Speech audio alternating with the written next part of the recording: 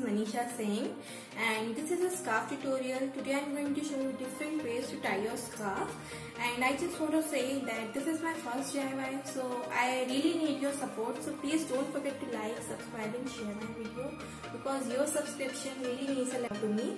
So without further ado let's get started.